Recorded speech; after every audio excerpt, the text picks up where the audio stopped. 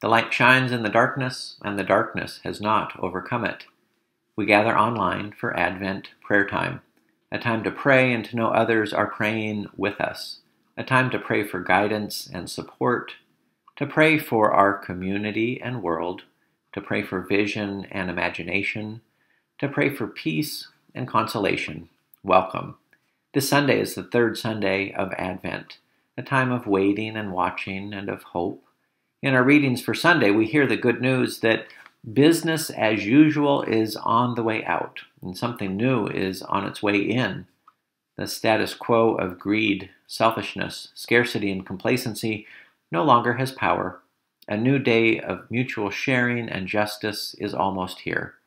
For Advent prayer time, we hear the psalm for the coming Sunday, and the Bible includes many psalm like canticles, and we'll use one of these this Sunday, and tonight, Isaiah 12, verses 2 to 6.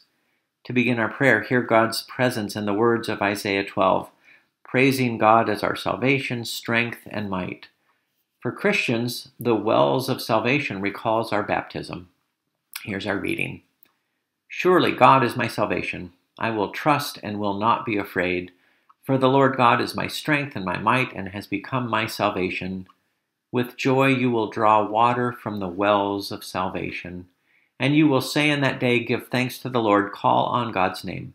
Make known the deeds of the Lord among the nations, proclaim that this name is exalted. Sing praises to the Lord, for he has done gloriously. Let this be known in all the earth. Shout aloud and sing for joy, O royal Zion, for great in your midst is the Holy One of Israel. Here ends our reading.